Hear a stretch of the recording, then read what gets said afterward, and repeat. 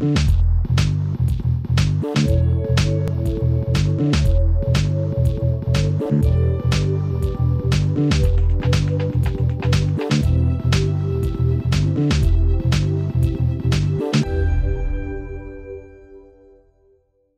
Universidade Federal de Sergipe vai começar a implantação dos processos eletrônicos. Os processos eletrônicos nada mais são do que a versão virtualizada dos processos físicos que a gente já conhece no dia a dia da universidade, né? processos de pagamento, processos de progressão.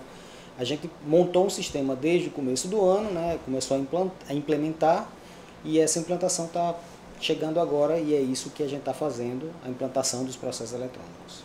Na verdade, o Ministério do Planejamento decretou é, fez um, um, decreto onde ele obrigava as diversas instituições a é, implantar os processos eletrônicos. Então, nós, né, como universidade, fizemos essa implantação e agora chegou o momento de a gente fazer essa colocação para toda a comunidade. Muda, na verdade, um pouco a rotina do, do, de como a gente faz os processos. Os processos deixam de ser físicos, então a gente deixa de imprimir e montar o processo para fazer o trâmite físico, né, de levar de um setor a outro.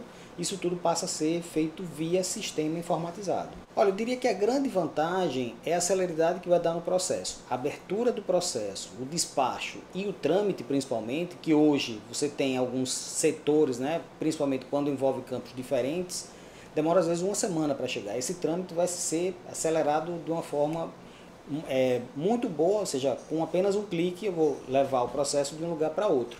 Uma outra vantagem interessante é a questão da economia que a gente vai fazer de recursos. A gente vai economizar, a gente fez um estudo, vai economizar mais ou menos 500 mil reais por ano com logística e impressão, né? já que a gente não vai ter mais essa impressão dos documentos físicos. Então, como teve investimento no projeto, a gente está é, estimando em menos de um ano, não, um pouco mais de um ano, é, a gente fazer o pagamento né, desse, desse, de todo esse investimento que foi feito nos processos eletrônicos. Os servidores vão ser capacitados de duas formas. A gente vai ter uma é, várias turmas presenciais, onde a gente vai em diversos campos, não só em São Cristóvão, mas no, nos campos do interior também, onde os servidores serão capacitados presencialmente. Né? Então, tem uma agenda prévia e o servidor vai lá ser treinado. E uma outra forma que a gente está fazendo é fazendo videoaulas, né, explicando como são os processos eletrônicos e a gente vai deixar disponíveis né, na página da universidade para que qualquer servidor possa acessar é, a hora que desejar, que isso vai facilitar bastante aqueles que não não podem ir para o treinamento presencial. A execução, né, o início, né, a implantação, digamos assim, do, dos processos eletrônicos já aconteceu. Existe um piloto hoje que está rodando é, junto ao DAA, né, os processos que são abertos para o DA já estão sendo feitos, mas para toda a comunidade vai ser feito no dia 16 de outubro agora desse ano.